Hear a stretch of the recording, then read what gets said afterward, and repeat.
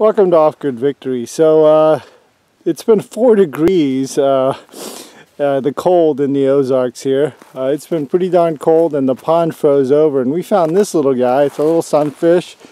Here's my hand. It's uh, it's fairly big. Here, let me zoom out here. Oh, zoom out. Here's my hand.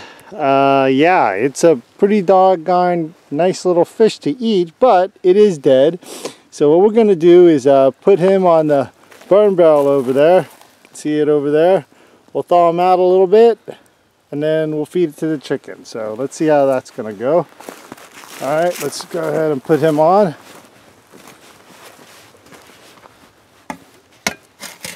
You know what? We'll just put the whole shovel on right there like that. Let's see if we can.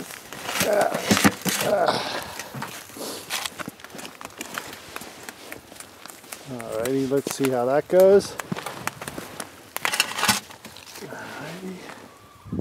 Anyway, this is what happens when you have extreme cold weather. Now this fish was captured, uh, let's see, it was about, um, oh, let's say uh, where he was was about uh, five inches deep.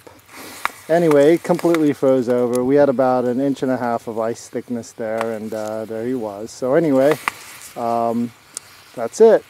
All right, these chickens are going to enjoy a fish meal today. All right, shalom.